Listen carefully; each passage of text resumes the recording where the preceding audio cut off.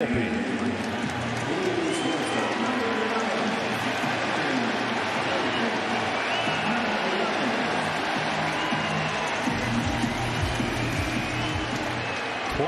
years old and living a life made for the movies. This kid.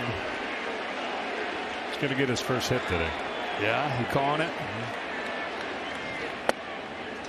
Takes a strike. He reached for the first time on opening day, walked and then stole a base. And these guys are all living their dream playing Major League Baseball, but Anthony didn't just want to play Major League Baseball. He wanted to play shortstop for the New York Yankees. Born in Manhattan, eventually moved to New Jersey. Long line of Yankees fans.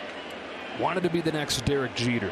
Was at the last World Series parade. Was at the All-Star game here in 14. And then there he was on Thursday, kissing the Yankees logo on his chest, fulfilling his dream. Opening day shortstop of the Yankees, Anthony Volpe. A 1 2 from Alex Cobb. He has his first major league hit.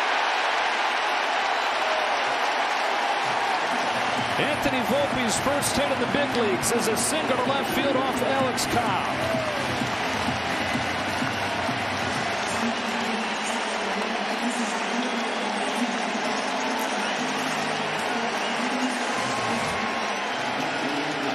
Went down and got a breaking ball. Good pitch. He stayed on it, kept his head down, and he's hoping there's going to be, what do you think, uh, 2,000 more of those? they sure hope.